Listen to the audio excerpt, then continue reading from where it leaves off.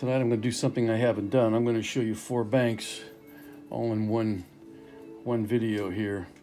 This is the uh, elephant uh, called Howdah Pull Tail, made by Hubley. You put the coin in the trunk, and you go like that, and it throws it in there.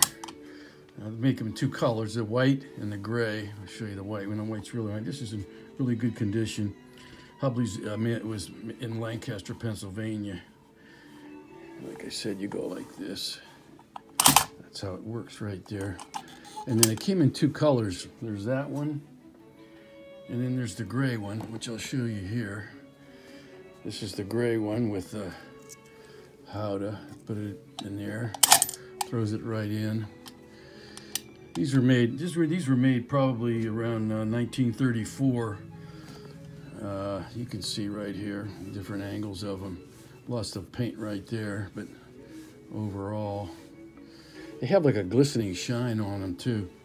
They're, they're nice banks to have, elephant banks. And then the third one I have to show you is uh, called Elephant Three Stars, probably my favorite one of the bunch. You place a coin right here, and you go like that. And you can't miss because it throws it right into the right into the uh, head of the elephant. But you can see it's got the three stars. It's really heavy, cast iron.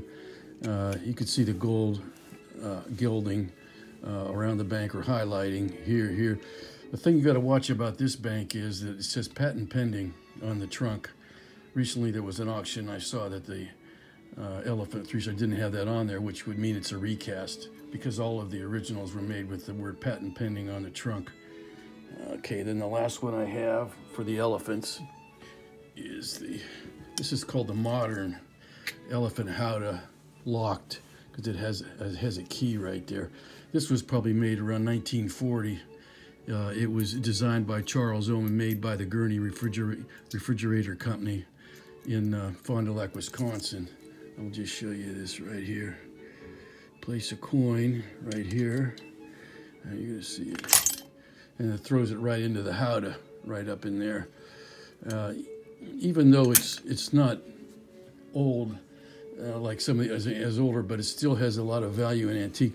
And they call it uh, locked because you need a key here to unlock the Howdah up up here.